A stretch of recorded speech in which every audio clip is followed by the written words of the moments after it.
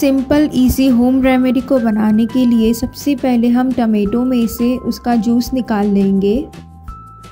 नींबू को स्क्वीज़ करके उसका भी रस निकाल लें।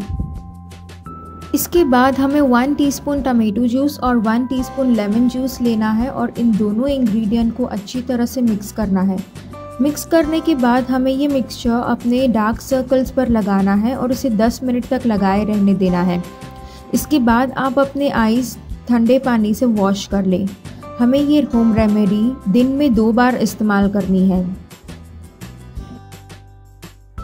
नेक्स्ट रेमेडी बहुत सिंपल है, इसमें सिर्फ़ और सिर्फ़ बादाम के तेल की ज़रूरत है।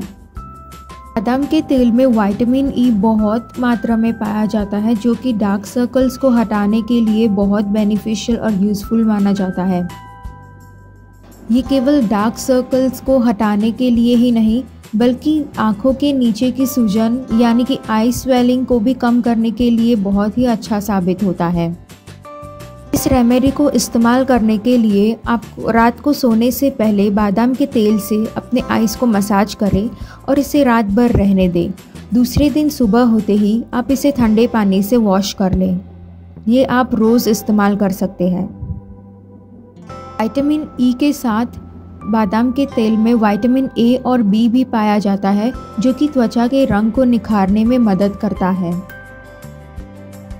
अगर आपको ये वीडियो अच्छा लगा तो इस वीडियो को लाइक करें, शेयर करें और सब्सक्राइब करें, ताकि आप फ्यूचर की कोई वीडियोस मिस ना करें, और इस रेमेडी को ज़रूर ट्राई करें।